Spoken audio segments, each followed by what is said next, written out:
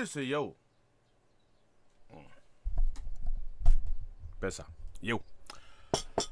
My Hero Academia. Season 2, Episode 8 oder Episode 21. Von wer Sie mal sehen willst. Einer beschwert sich ja immer. Oh, hier noch eine Anmerkung in eigener Sache. Ja, ich weiß, dass ich mit einer Menge Sachen sehr spät dran bin. Ich habe immer noch keine Chance gehabt, äh, mir Little Witch Academia anzuschauen. Sorry. Äh, ich hoffe, ich kann es beim längeren Wochenende ein bisschen nachholen. Ich würde sowieso ein paar Sachen machen wollen, die ich äh, hinten und links und rechts liegen lasse. Aber momentan. Äh, andererseits, äh, meine Güte, wir hier im Deutschsprachigen haben, haben wirklich äh, die äh, peinlichste Fan-Community. Die, den neuen Genji-Skin der Anniversary-Version von Overwatch sehen und das Einzige, was diesen, diesen Leuten einfällt, ist Power Ranger.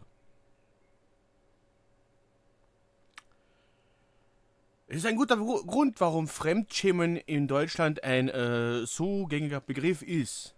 Das mache ich jetzt gerade. Leute, die sich als Fans bezeichnen, aber wissen wo, zwischen einem Unterschied. Wenn sie einen, einen Typen sehen in einem Mecha-Outfit mit dem großen V, mal abgesehen von so Sachen wie äh, Beautiful Joe und eine Menge Sentai-Sachen, hatten wir auch noch so Sachen wie zum Beispiel Kamen Rider.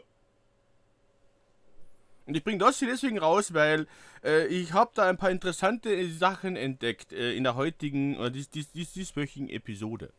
Mir sind ein paar Sachen aufgefallen, was ich sagen muss. Aber dazu komme ich noch.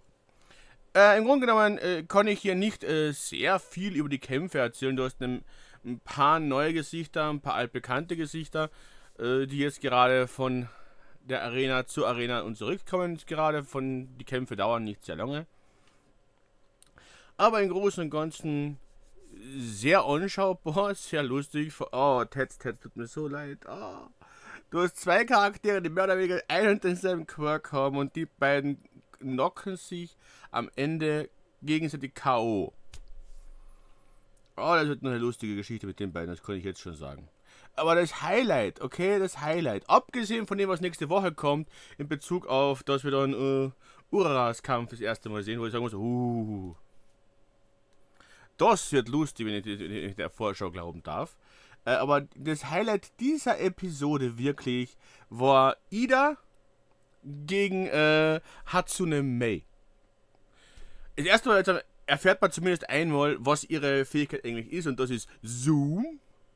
Man merkt sich das Wort, mit dem sie anscheinend über 5 Kilometer äh, gestochen scharf sehen kann. Und sie ist eben ein ziemlicher äh, Techno-Freak und baut halt eben großteils äh, Supporting-Tools und äh, Kampfausrüstung. Oh Mama. Und die Show, die sie abzieht, oh, Ida tut mir echt leid, muss ich sagen. Der Typ ist, wie ebenfalls Ida. Seine Familie ist übrigens eine Anspielung in Boku no Hero auf äh, Sentai-Geschichten. Nicht die einzige Sache, die auf, auf äh, andere Superhelden-Storylines hinweist in der ganzen äh, äh, Reihe. Aber das ist natürlich niemandem wirklich aufgefallen, geschweige denn Dinge also aufgebracht, aber egal.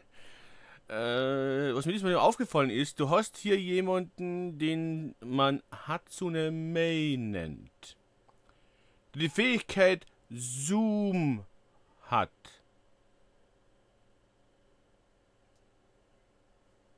Mehr sage ich dazu nicht, dass das, alles andere wäre schon zu leicht. Und du musst echt sagen, wenn, wenn das in Deutschland schon schwer ist, dann sorry Leute. Kann ich euch nicht mehr helfen. Okay? Dann warte ich lieber, bis die nächste Generation kommt. Okay? Vor allem, wenn man darauf bedenkt, wie sie ihre Sachen präsentiert, weil das ist ja kein Kampf, was die beiden abziehen. Erstens einmal, sie verpasst Ida ein gyroskopisches äh, Gerüst, das er zuerst äh, für, für eine Hilfestellung hält Oh, und wie er sich dann rausredet, weil er es nicht vorher angemeldet hat. Oh. Der Typ hat ein. Äh, Ida ist einer von diesen Figuren, wo wenn er nicht so mögenswert wäre, so ein richtig schön sympathischer Chaot, okay, wäre der massive Lärchenholzstock, äh, den er im Arsch hat. Okay, ein Ärgernis. Okay? Aber ist das ist das feinste Gehölz, das er im Arsch stecken hat. Deswegen ist es so sympathisch, weil er einfach, einfach nur so, so klassisch äh, oh, verklemmt rüberkommt. Und nur so, Deswegen tut mir auch diese Episode so wahnsinnig leid. Wie gesagt, das Ganze ist eine riesengroße Verkaufsshow. Ebenfalls, allein wie sie ihre so wie diese, wie eben May diese Sachen präsentiert. Diese wunderbare äh, Speedline-Geschichte ebenfalls. Und keiner bis jetzt, ich habe geschaut, niemand hat das kapiert, was hier, was hier gezeigt wird. Ich sage mal so, wow, hört denn niemand meine Schreie? Ich meine, dass das mit Genji, das war halt so, so. Du kommst nach Hause, bist müde, denkst dir ach, ich bin ruhig. Dann liest du, liest du diese, diese, diese, diesen geistigen Akkus der Armut. Oh.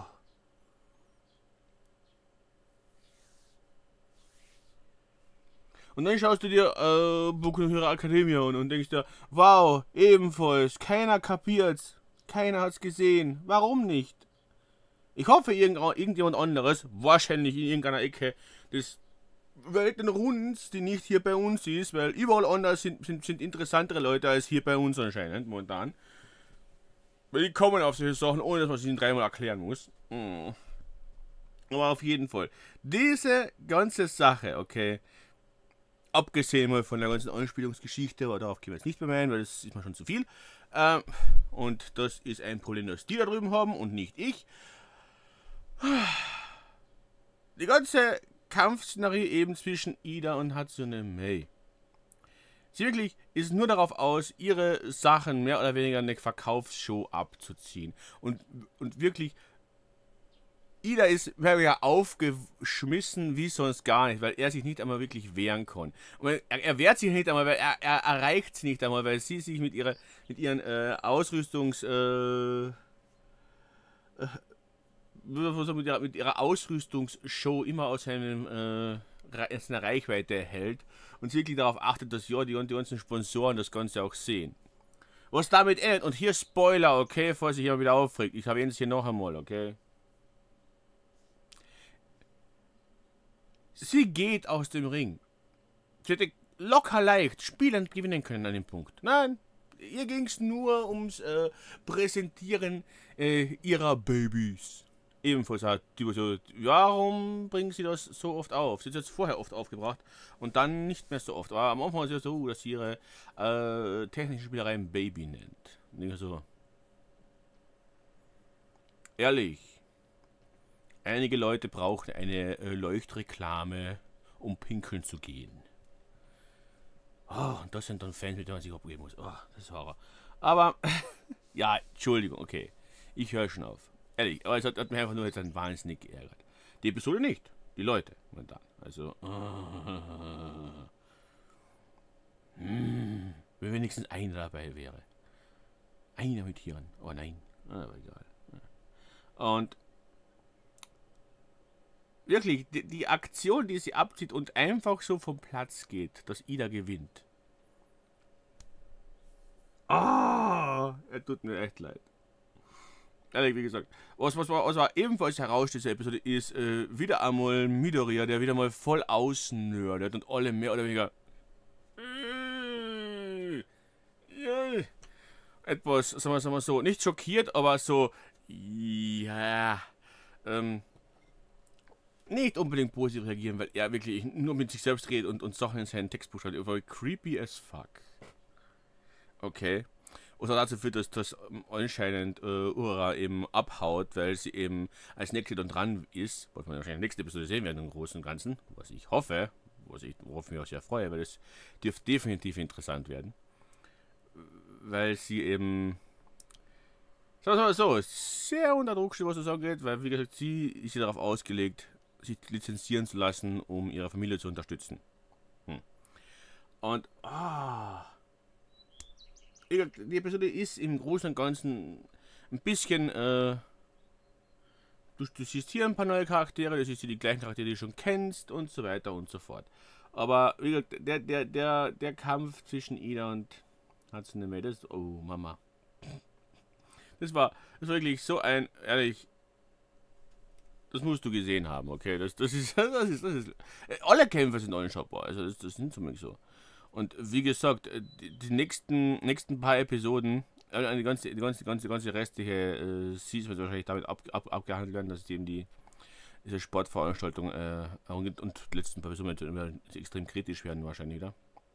Ich, ich denke mal, dass, dass, dass, dass, dass, dass sie schon auf die nächsten äh, Season hinarbeiten. Also ich, ich hoffe, sie machen keinen zu brachialen Cliffhanger momentan. Also, äh, aber ansonsten Episode 21 oder Season 2 Episode 8. Hat mir gut gefallen, kann man so stehen lassen. Kann ich nur weiterempfehlen. Und wie gesagt, die Anspielungen, oh, warum das keiner sieht, ich weiß es nicht. Es ist traurig. Und ich habe es jetzt sogar schon erklärt, mehr oder weniger. Wenn einer aufgepasst hat. Mehr kann man nicht machen. Ich habe schon viel zu viel geholfen. Also. Hm.